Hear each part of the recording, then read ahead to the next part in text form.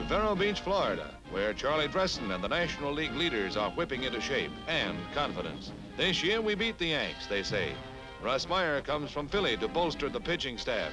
And here's Joe Black, spark plug of that pennant last year. Don Zimmer and Jim Baxter seek infield berths, but Jackie and Pee Wee aren't worried, nor is Roy Campanella in any danger of losing his job. Billy Cox may share honors at third. Who's on first? Gil Hodges. Carl Furillo's got his old eye back, back fence scuttlebutt reports. And who's moitering the ball so oily? The Duke, that's who. Look out, Yank, say them bums.